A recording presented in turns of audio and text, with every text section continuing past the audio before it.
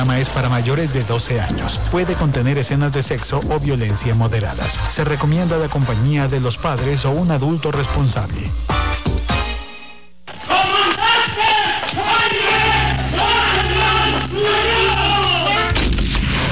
Era un grupo guerrillero que en agosto de 1984, 15 meses antes del ataque al Palacio de Justicia, había firmado un acuerdo de cese al fuego con el gobierno de Belisario Betancourt y ahora pretendía juzgarlo por traición a la voluntad nacional de paz.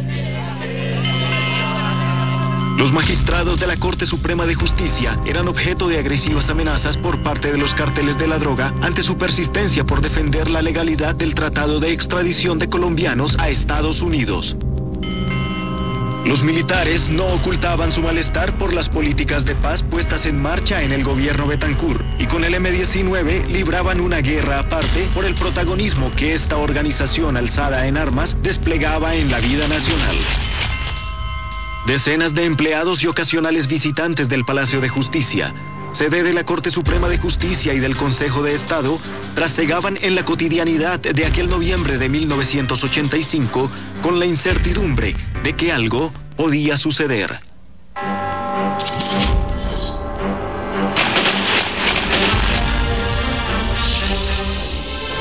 Quiero manifestarles que la situación está perfectamente controlada.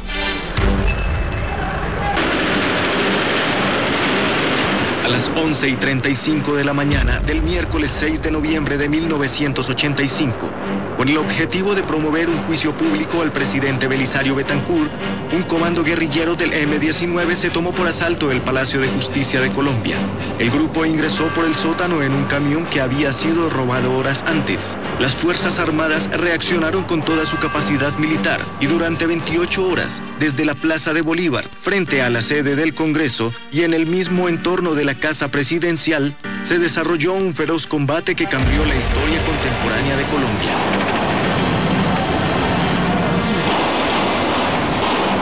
El M-19 creyó que con el Palacio de Justicia se tomaba el poder.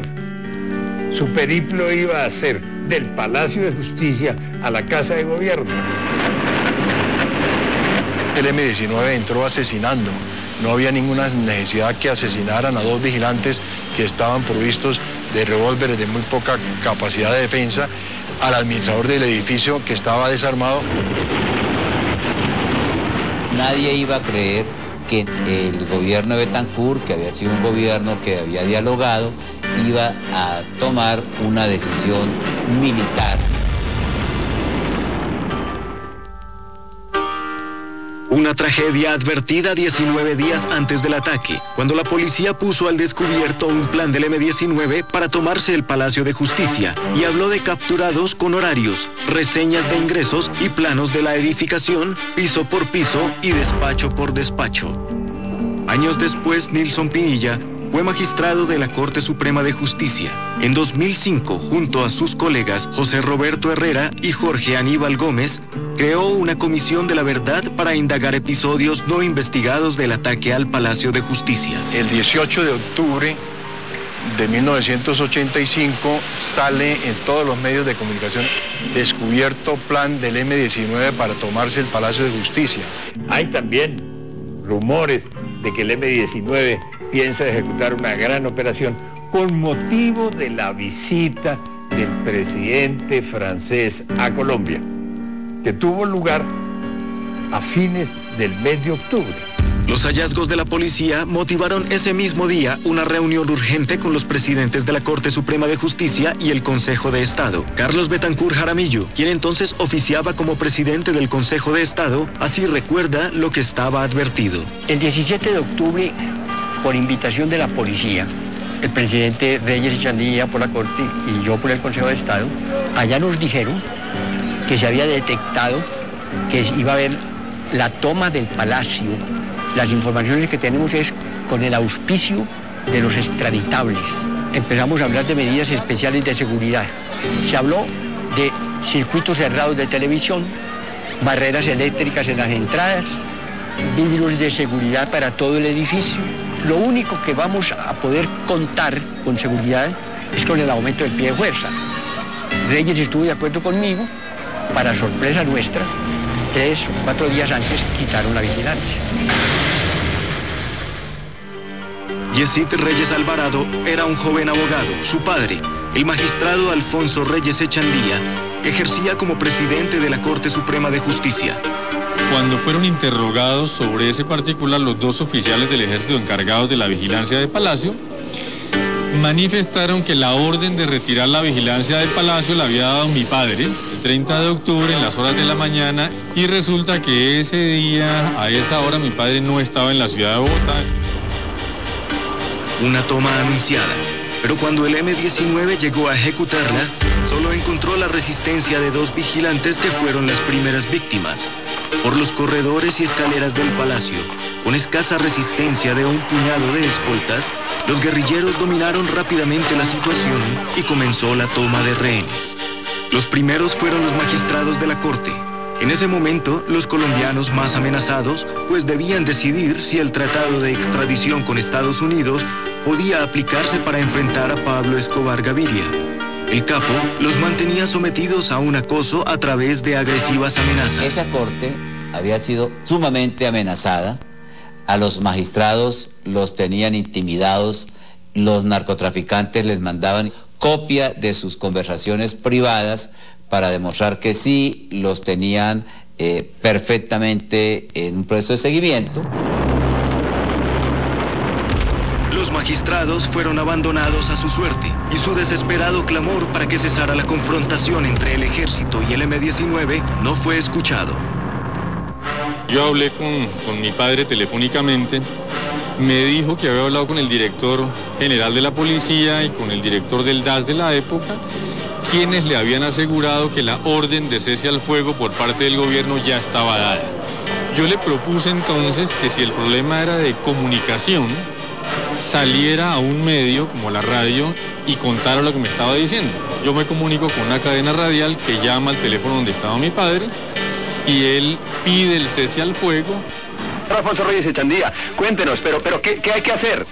Pues que el presidente de la República dé finalmente la orden de que cese el fuego. Inmediatamente. Pero además resulta muy curioso que cuando mi padre se supone que sale a superar ese problema de comunicación diciendo a través de los medios de comunicación que dejen de disparar, la ministra de Comunicaciones de la época llama a las emisoras que están entrevistando a mi padre y les prohíbe seguir haciendo esa clase de entrevistas. El expresidente Belisario Betancourt ha dicho siempre que el objetivo del M-19 no fue dialogar, sino tomarse el poder. En entrevista con la Comisión de la Verdad en 2005, así explicó por qué no fue atendido el clamor de cese al fuego de Reyes Echandía. El doctor Reyes Echandía no era libre en ese momento. ¿Por qué no era libre? Porque él mismo decía que tenía una ametralladora.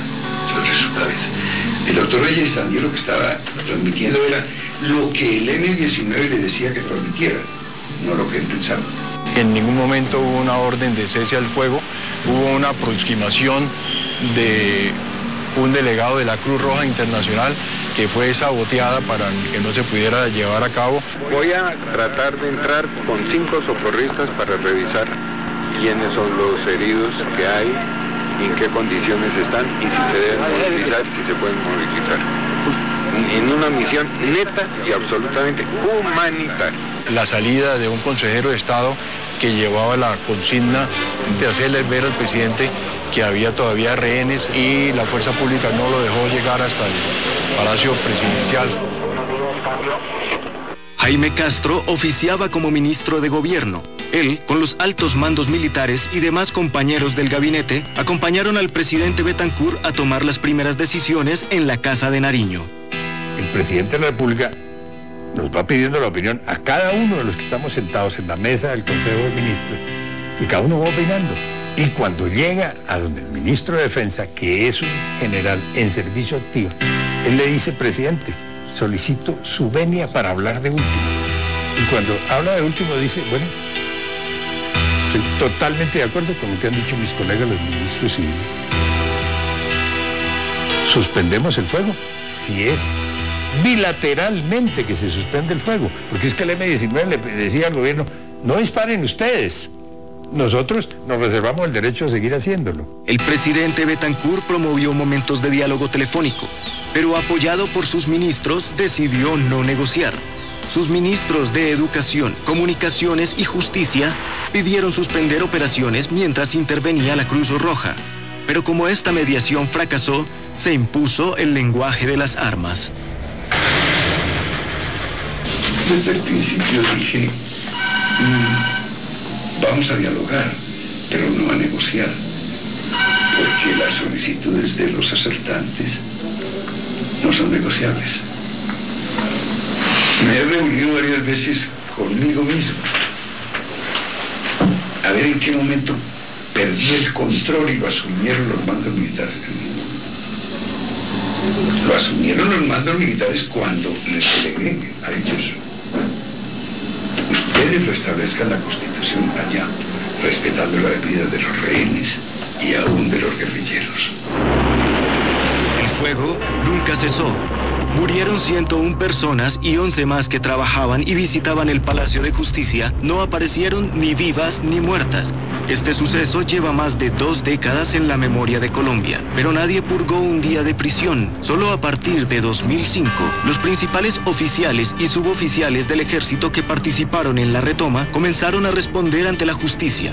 Se investiga por qué desaparecieron 11 personas durante la recuperación militar del palacio, lo mismo que una guerrillera que fue vista en el lugar donde eran ubicados los rescatados. Un proceso judicial que ha vuelto a abrir heridas que nunca se cerraron y que hoy divide la opinión pública en Colombia entre quienes exaltan o reprochan la actuación de la fuerza pública. Los militares en este momento no están siendo juzgados por las actuaciones ocurridas durante la toma de Palacio de Justicia, sino por hechos absolutamente posteriores que la desaparición de las personas.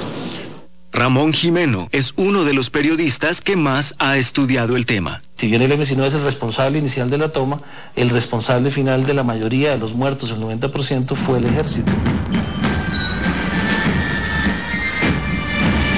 Con destinos inciertos, los protagonistas de ayer hoy viven un presente totalmente opuesto a su pasado. Los oficiales y suboficiales que en noviembre de 1985 fueron exaltados como héroes y la justicia exculpó durante un cuarto de siglo, hoy están presos o en espera de sentencia. Entre ellos, el coronel Alfonso Plazas Vega, recordado por la respuesta que dio cuando los periodistas indagaron por su misión en Palacio. Mantener la democracia, maestro. Aquí no van ellos a asustarnos ni a atentar contra ninguno de los poderes, eh, ni contra ninguna de las ramas del poder público. El coronel Alfonso Plazas Vega era el comandante de la Escuela de Caballería del Ejército. Hoy está condenado a 30 años de prisión por el delito de desaparición forzada y así se defiende. Llevo tres años y tres meses privado de mi libertad, eh, violándome todos mis derechos humanos coleccionando todo tipo de mentiras con un propósito de carácter político, de carácter vengativo por parte de los acusadores, que no son otra cosa que la expresión de los mismos asaltantes del Palacio de Justicia. La respuesta al ataque del M-19 fue inmediata antes de 10 minutos con personal del batallón Guardia Presidencial, algunos policías y hasta un espontáneo particular se inició la retoma. Desde el primer momento, la consigna fue responder a un ataque terrorista sin advertir que se había convertido en una toma de rehenes. la intención era rescatar a Dante porque le disparó un, un cañonazo al frontis del palacio.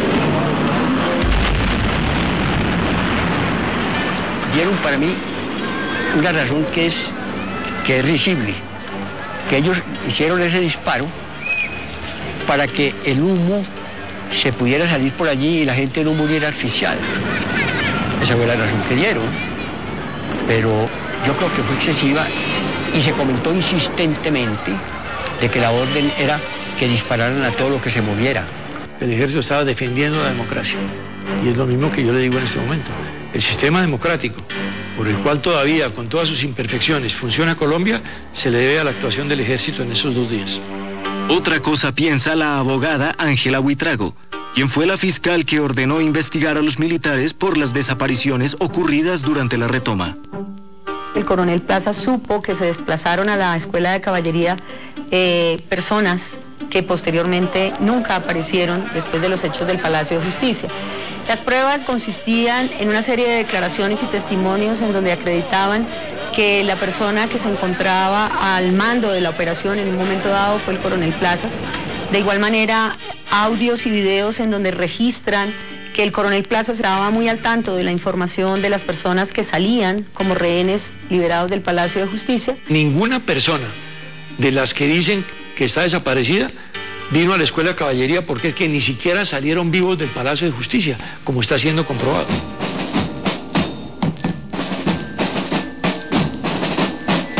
En contraste con el presente que hoy afrontan los militares, los líderes del M-19 incursionan en política, hacen empresa o defienden los derechos humanos. Los militares procesados lo recalcan para defenderse. El M-19 se tomó el Palacio de Justicia. Estamos hablando de las mismas personas que hoy en día eh, detentan los cargos de gobernadores, parlamentarios, candidatos presidenciales. Es decir, aquí en Colombia se premió a los criminales y se castigó a los defensores del Estado de Derecho. Cuatro años y medio después del ataque al Palacio de Justicia, el M-19 entregó sus armas y un año después fue mayoría en la Asamblea Constituyente que expidió la carta política que hoy rige a Colombia. Ya no existe como organización política, pero sus exdirigentes hoy pugnan por el poder. Cambiaremos la historia de Colombia. Gustavo Petro pertenecía a la cúpula del M-19 y en la época del Palacio de Justicia estaba en prisión. En marzo de 1990 se desmovilizó con sus compañeros de armas e ingresó a la política con notorio éxito. En 2010 fue candidato a la presidencia de Colombia.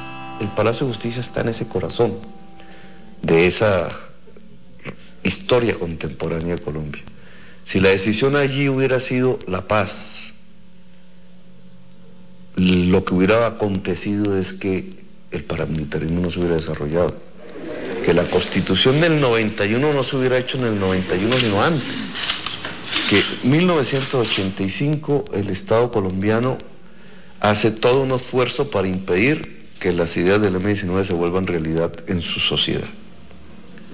Solo cuatro años después, 1989, el Estado colombiano acepta una negociación con el M-19 el pueblo colombiano elige mayoritariamente al M-19 como constituyente y el M-19 termina siendo de manera protagónica la constitución del 91.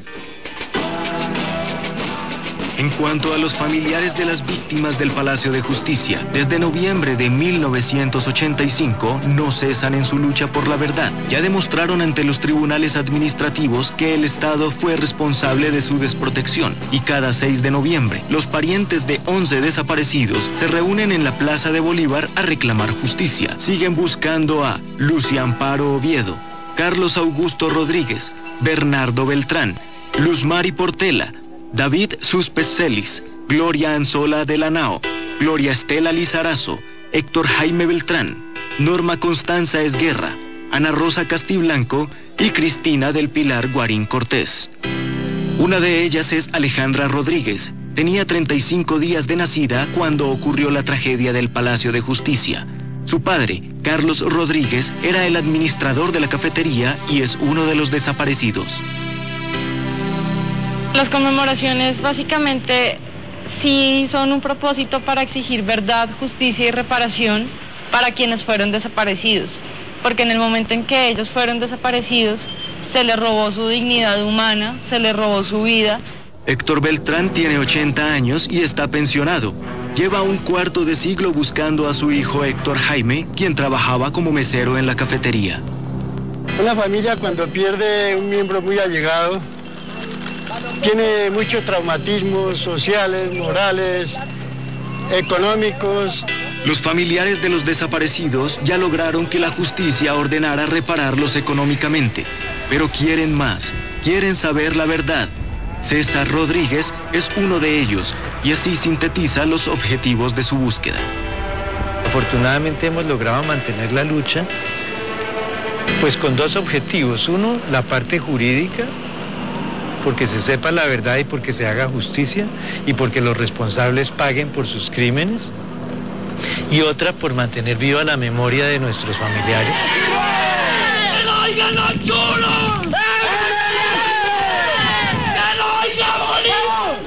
Pero ¿cuáles fueron las razones para que se precipitara esta tragedia? La guerrilla del M-19 estaba activa desde 1974 y se creó como respuesta a un presunto fraude en las elecciones presidenciales de 1970. Con el paso de los años, ganó protagonismo a través de publicitadas acciones, el robo de armas al ejército a través de un túnel cavado días antes del Año Nuevo de 1979 o la toma de la Embajada de la República Dominicana en 1980. Se acostumbraron a asestar golpes militares que causaran opinión y quiso repetir juzgando al presidente Belisario Betancourt frente a los dignatarios de la justicia.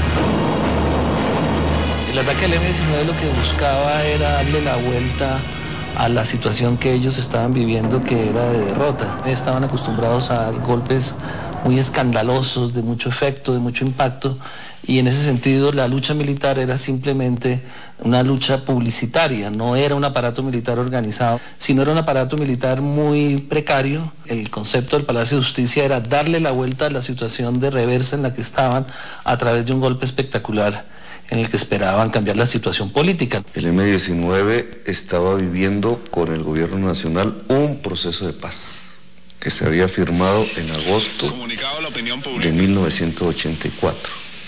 Eh, hubo un sabotaje político y militar y el M-19 respondió un año después con una ofensiva militar. Durante el gobierno anterior de Julio César Turbay, entre 1978 y 1982, aplicando un severo régimen penal, las fuerzas militares habían llevado a la cárcel a los máximos dirigentes del M-19. Sin embargo, su sucesor Belisario Betancourt, en busca de paz, prefirió impulsar una ley de indulto y los guerrilleros recuperaron su libertad. Desde entonces, el ejército y el M-19 libraban una guerra aparte. Oiga, El segundo al mando de este operativo. El presidente de la República no le ha pasado el teléfono al presidente de la Corte y se va a morir porque el presidente de la República ni siquiera con su poder jurisdiccional. Es increíble que el, el M-19 no es el, que se ha tomado el Palacio de Justicia, se lo tomó los tanques del ejército. Es lo increíble, el ejército hizo con sus tanques y que están sonando los tiros. Cuando entren en este piso nos morimos todos, sépalo. El ejército colombiano reacciona de esa forma porque entiende que tiene que exterminar la amenaza guerrillera en, Colombia, como se hizo en América Latina. En ese momento los generales y quienes están dominando en el alto mando están influenciados por la ideología de los argentinos, de Pinochet, de Videla, en el sentido de que hay que exterminar a los enemigos de la sociedad, que son los guerrilleros que quieren establecer el socialismo y el comunismo. El otro protagonista, pero a la sombra, fue el narcotráfico. Desde los años 70, sin suficiente control del Estado, los capos de la droga eran hombres de negocios, dueños de equipos de fútbol o reputados políticos. Cuando el gobierno Betancourt decidió encararlos, asesinaron a su ministro de Justicia, Rodrigo Lara, en 1984. Al gobierno no le quedó otra opción que responder con el tratado de extradición a Estados Unidos. Hoy, la duda subsiste. ¿Participó el narcotráfico en el ataque al Palacio de Justicia para silenciar a la Corte Suprema? Pablo Escobar les dijo cuando ellos le dijeron que necesitaban armas para la toma, para consolidar el Palacio de Justicia, eh, ellos habían pensado primero en el Congreso. Y Pablo Escobar fue el que les dijo, el Congreso es insostenible, el Capitolio tiene entradas por todas partes, necesitarían mil hombres para tomárselo y mantenerlo. Váyanse al Palacio de Justicia y hagan el, mismo operativo en el Palacio de Justicia que es inaccesible. La hipótesis sobre la alianza entre el M-19 y el narcotráfico para el ataque al Palacio de Justicia sigue generando controversia. Uno de sus máximos jefes, Iván Marino Ospina, públicamente atacó la extradición y mantenía contactos con la mafia. Desde orillas distintas, los protagonistas de ayer esgrimen sus argumentos. El contacto que tiene Iván Marino Espina con Pablo Escobar eh, y del cual sacan la conclusión de que Pablo Escobar financió la toma del palacio, fue un contacto del M-19 para impedir que Pablo Escobar siguiera asesinando sus militantes. En el manifiesto que divulga el M-19, en el instante mismo del asalto. Uno de los puntos claves es la no extradición. Los primeros rehenes que caen en manos del M-19 son los magistrados de dos salas de la Corte Suprema de Justicia, la sala penal y la sala constitucional. Esas salas estaban tomando decisiones sobre el tratado de extradición. Siete meses después de la toma, el Congreso absolvió al presidente Belisario Betancourt con el argumento de que su conducta obedeció a un típico acto de gobierno. Y en enero de 1989, cuando se ordenó la captura de los 30 líderes principales del M-19, ya estaban en negociaciones de paz con el gobierno de Virgilio Barco. Un año después entregaron sus armas y su responsabilidad en el ataque quedó borrada. ¿Qué digo la justicia política?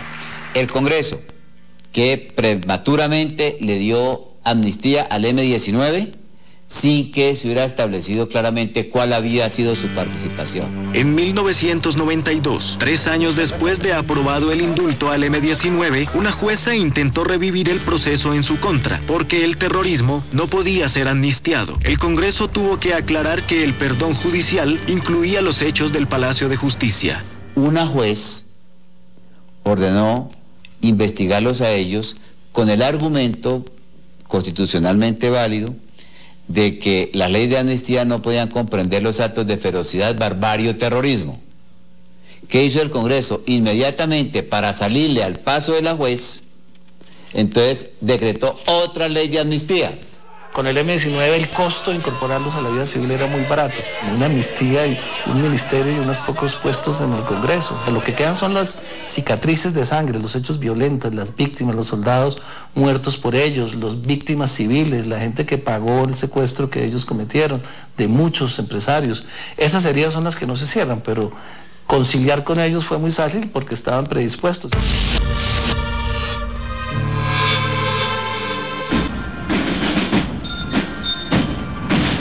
En cuanto al tercero en discordia, el ejército, la primera acción de la justicia llegó a finales de 1990 con una decisión del procurador Alfonso Gómez Méndez. Tomamos la decisión disciplinaria de destituir al entonces comandante del ejército, general Ares Cabrales y al coronel Rubiano, porque se estableció que había habido exceso de fuerza, porque se demostró que no habían tenido en cuenta la vida de los rehenes, porque ahí ya aparecían las famosas comunicaciones internas del ejército. Cada Marta le dice que él nota que la situación se enfrió, que necesita que haya acción, que haya ruido, que si necesita más munición le coloca toda la que necesite, pero que no le puede descansar cambio. Pero aquí eh, se está tratando de reducir a los grupos que están en el piso segundo, tercero y cuarto de a un reducto ya final con el objeto de causarles eh, la baja ya en ese sector e impedir eh, mayores destrozos y todavía hay personal ajeno a la situación que está todavía acá. ¿Cuál es eso que le preocupa esa situación de que no nos pongamos a pararnos en gasto de municiones o destrozos que hay que estacionar, pero que quiere que haya acción? Es obvio que cualquier comandante quiere una definición pronta y presiona a las tropas para que se tomen las decisiones rápidas, porque cada minuto que pasa hay un país expectante de tener resultados. La destitución de dos oficiales del ejército en 1990 creó una enorme confrontación política entre defensores y detractores de la actuación de la fuerza pública. Esa polarización social hizo que algunos ventilaran la tesis de un pacto de silencio por ocultar la verdad. Produzco esa decisión y se me viene todo el mundo encima. Y lo que ocurrió aquí fue que la justicia política no permitió que funcionara la justicia real y que una especie de pacto de silencio y el establecimiento para que estas cosas no se investigaran. A mí me atacaron los expresidentes, los editores de los periódicos, todos los generales retirados, todos los políticos. A mí me hicieron un debate en el Senado. No hubo una sola voz en el Senado que apoyara la decisión del procurador. Eso le dice a usted todo. El pacto de silencio es una teoría del doctor Alfonso Gómez Méndez. No tiene ningún asidero, es la imaginación del doctor Alfonso Gómez Méndez. Pero yo creo que el doctor Alfonso Gómez Méndez tiene razón en que hay un pacto de silencio por parte del M19 y los organismos de izquierda que están negando la realidad de su vinculación con, el, con los carteles de la droga y sus intereses de tomar el poder y acabar con nuestro sistema democrático. En ese momento el ejército respaldó a los destituidos. El general Arias, oficial que comandó la recuperación del palacio, demandó al Estado y el procurador Gómez renunció a su cargo. Ya gobernaba César Gaviria y para contener la arremetida terrorista del narcotráfico se validó una política de sometimiento a la justicia que permitió a Pablo Escobar entregarse a cambio de trato benévolo. La investigación por los hechos del Palacio de Justicia quedó inconclusa hubo una ausencia de voluntad política y de voluntad judicial en torno a la investigación y al establecimiento de justicia eh, acerca de lo ocurrido acá. Siguieron 100 y más palacios de justicia. Esa alianza mafia, cúpula del ejército, política tradicional, que impide una negociación en el palacio y lo vuelve una masacre, siguió actuando a lo largo y ancho de Colombia. En medio de la arremetida del narcoterrorismo, el Estado se vio forzado a ocultar los rostros de sus jueces para que no los siguieran matando. Fue entonces cuando la jueza Clemencia García, en 1992, ordenó capturar a los líderes del M-19 ya convertidos en congresistas, porque no era viable indultar las acciones del terrorismo. Lo mejor era no investigar y estigmatizar al que investigara. La juez que tomó esa decisión está fuera de Colombia Entiendo que tuvo que irse. La política acusó a la jueza de afectar la paz con el M-19 y terminó investigada. El M-19 fue blindado por otro indulto, pero un año después, en 1993, desde otro frente judicial, el magistrado del Tribunal de Cundinamarca, Benjamín Herrera, demostró la responsabilidad del Estado, la desprotección de los magistrados, el exceso de fuerza para recuperar el palacio o las pruebas judiciales que fueron borradas y dejaron evidencia de un desastroso operativo que el Estado terminó pagando. Siempre que esté eh, en peligro la vida de un ser humano, el Estado no puede, sobre pretexto de cumplir un deber, por grande que sea ese deber, atentar contra esa vida.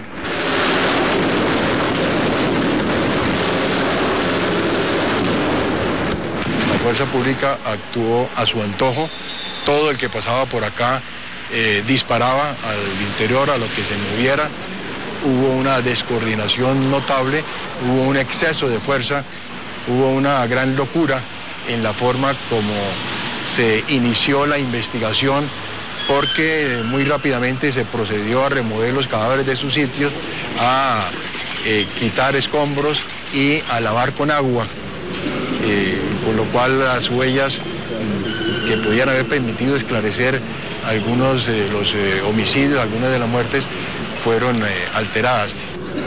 Es que las fuerzas militares obraron de acuerdo con sus propios esquemas y que pretermitieron sin duda las recomendaciones de que la vida de los rehenes no sufrieran riesgo. Ahora, no estoy en capacidad de decir cómo fue que dentro los rehenes murieron el Estado fue reiteradamente condenado por haber retirado la vigilancia del palacio y por haber abusado en la utilización de la fuerza durante la operación de retoma del mismo. Hay también dos sentencias en las que se condena al Estado administrativamente por la desaparición de personas que estaban al interior del Palacio de Justicia en esos dos días. ¡Ni perdón, ni olvido! ¡Verdad, justicia y reparación! A partir de 1993, los familiares de las víctimas, entre ellos de los desaparecidos, recibieron en gramos de oro convertidos en pesos millonarias sumas. Pero a pesar de la reparación económica, no surgió el mismo interés por encontrar a los desaparecidos. Solo sus familias insistieron en la lucha por la verdad. El primero en encarnarla fue el recientemente fallecido ex juez Enrique Rodríguez, padre de Carlos Rodríguez, administrador de la cafetería del Palacio. ¿Cómo es posible que en el Palacio de Justicia, en el centro de Bogotá, se asesine a la gente y no se sepa ni siquiera qué hicieron con los cadáveres? Mi abuelito Enrique fue una persona que desde los primeros días se encargó de buscar a las personas, de buscar a mi papá. Mi hijo mayor, mi primogénito, él era un padre muy abnegado porque tenía cuatro mujercitas hijas. Por cosas de la vida consiguió trabajo en la cafetería como mesero. Los cadáveres fueron removidos por disposiciones militares y remitidos a medicina legal. Mutilados, calcinados, sin opción de reconocimiento inmediato, quedaron a disposición de las familias. Me fui para el anfiteatro de medicina legal a ver eh, un espectáculo como uno no se imagina, cadáveres en bandejas, piernas, brazos quemados, con lavados, calcinados.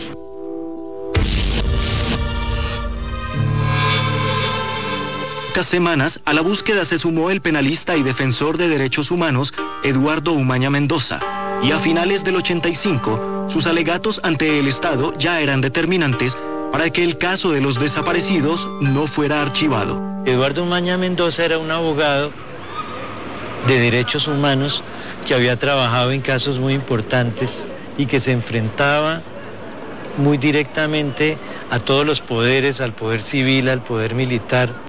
En 1997, la persistencia del abogado Umaña arrojó frutos y la fiscalía aceptó buscar entre centenares de huesos enterrados en una fosa común alguna evidencia genética de los desaparecidos. Las pruebas de ADN probaron que Ana Rosa Castiblanco, empleada de la cafetería, una de las desaparecidas, había sido enterrada en esa fosa. Identificamos a una de las, de las víctimas de la cafetería pero solo después es que el país comenzó a ver que sí, que sí se podía investigar. En el 99, 14 años después de su desaparición, la madre y el hijo de Ana Rosa Castiblanco recibieron sus restos. El promotor de este hallazgo, Eduardo Umaña, no pudo acompañarlos porque fue asesinado en abril de 1998. La justicia concluyó que lo hizo el paramilitarismo. El tiempo siguió pasando sin novedades judiciales, razón que motivó en 2005 a los exmagistrados de la Corte Suprema de Justicia, José Roberto Herrera, Jorge Aníbal Gómez y Nilson Pinilla, para crear una comisión de la verdad para atar cabos sueltos del ataque y la retoma. De por qué se retiró la vigilancia. Otro es la demostración plena, por lo menos en cuatro casos, de personas que salen vivas del Palacio de Justicia. Lo interesante no es la versión de Pinilla, sino el proceso judicial en la Fiscalía. Es que mientras aparece la Comisión de la Verdad, el proceso judicial va avanzando y va descubriendo la verdad a borbotones. Ese mismo 2005, la Fiscalía decidió reabrir la investigación sobre las desapariciones, admitiendo que este es un delito continuo, es decir, Mientras no aparezcan los desaparecidos, el delito se está ejecutando y por tanto no prescribe. A través de la prueba documental y de la prueba testimonial se ha establecido que la mayoría de personas que desaparecieron salen el día 7 de noviembre de 1985. También aparece un documento anónimo en donde hay manifestaciones claras y expresas que se están llevando las personas a la escuela de caballería, testimonios de algunas personas que fueron valoradas tanto por la Fiscalía como por la juez de primera instancia, a quienes se les da plena credibilidad y a esas personas en particular eh, narran eh, hechos concretos en donde hay participación del coronel Plazas, del B2, de la Brigada 13 y de organismos de inteligencia del ejército de esa época. Se sabe que la guerrillera Clara Elena Enciso salió con vida del palacio y que años después murió de cáncer en México, que la guerrillera Irma Franco fue vista entre los detenidos y después se perdió su rastro, y que 11 personas más no fueron reportados ni vivos ni muertos. Aún así, hay quienes persisten en afirmar que no hay verdades ocultas no hay nada secreto, nada no revelado. No hay desaparecidos y no hay retoma.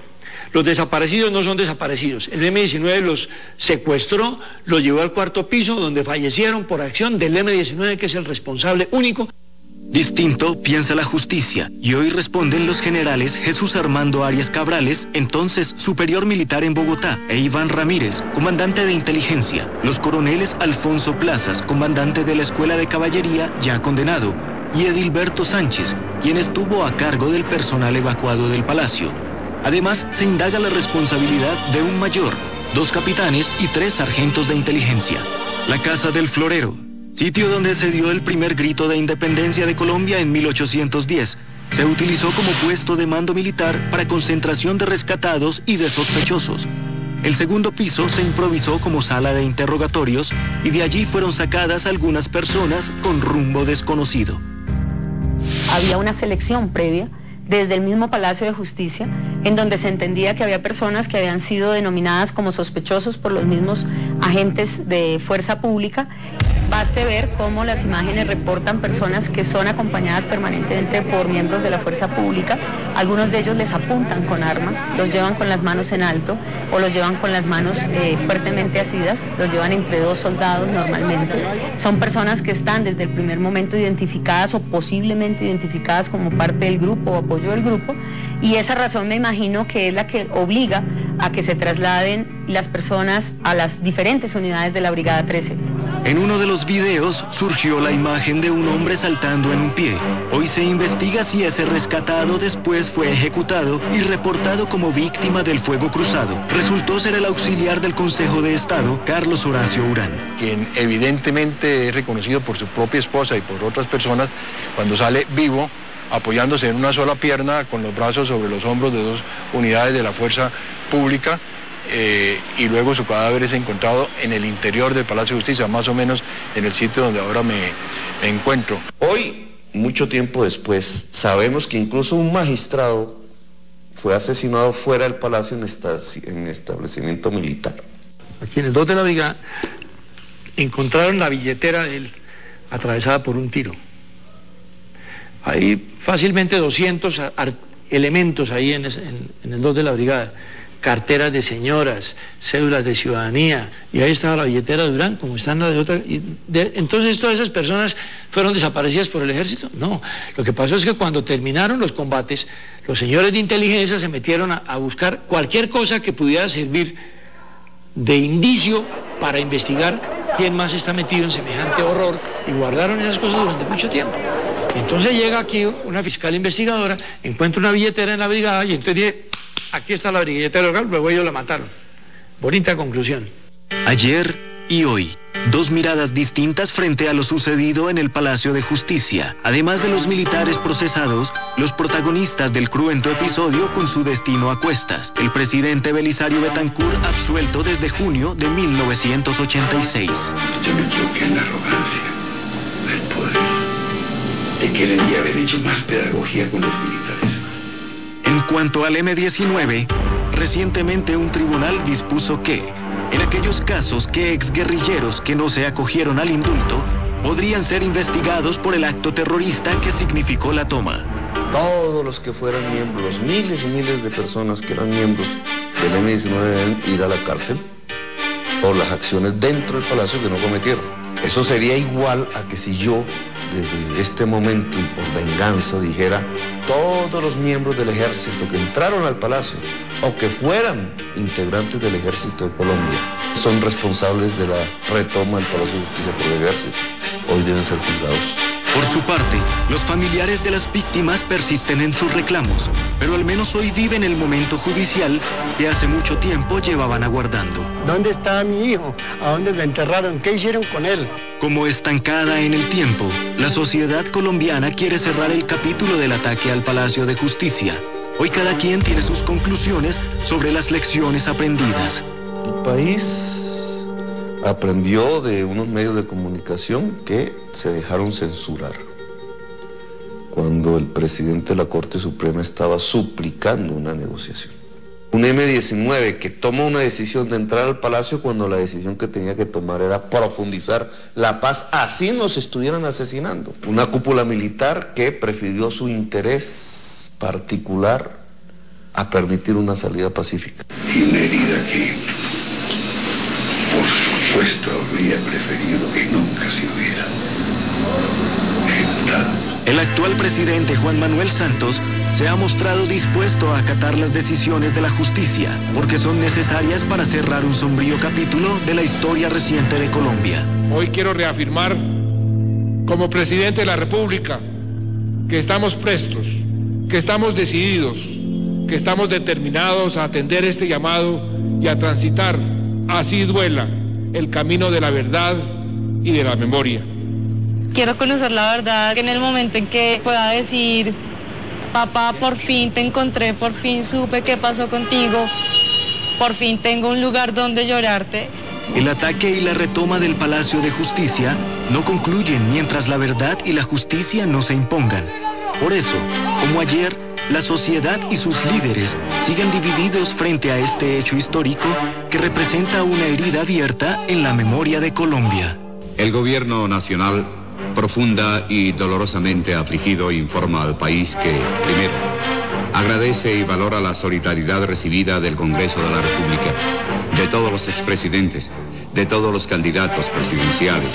Segundo, desde el mismo momento en que se produjo el atentado contra una de las ramas del poder público, como es la justicia, rechazó cualquier posibilidad de negociación con quienes mediante hechos terroristas pretenden poner en jaque las instituciones. Tercero, al repeler el asalto, hizo saber a sus autores que debían entregarse y bajo el amparo de la ley les ofreció la garantía de respetar sus vidas como es su deber hacerlo y de un juicio imparcial.